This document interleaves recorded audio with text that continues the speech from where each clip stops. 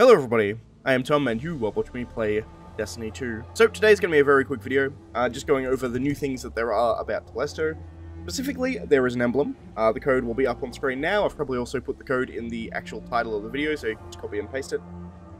However, there are also some upgrades on Bungie's Twitter account. Specifically, the first one was... Your world's the flicker before the paroxysm of my glory. What you call life is merely the calm between explosions. Uh, paroxysm, by the way, means, uh, would you best describe the word paroxysm?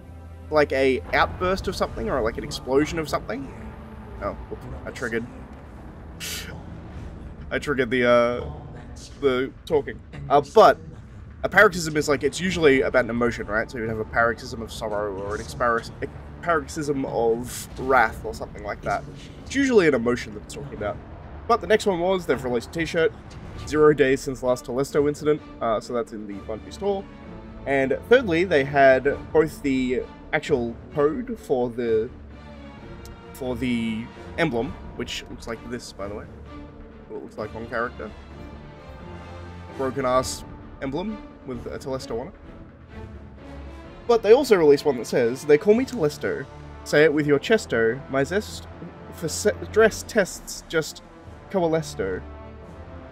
Conquest this Blesto will soon be represto. Suggest you rest if you're feeling distressto, or a guest for this festo at my behesto, as long as the express I'm the absolute error.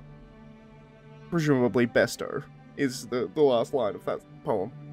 Uh, but that's everything. So, uh, very short video, as I said but there's just a few updates. Telesto's still firing like normal. I was testing whether or not it would fire differently now that I've got the emblem on. It doesn't seem to. It seems to just be doing its weird scatter bomb thing still.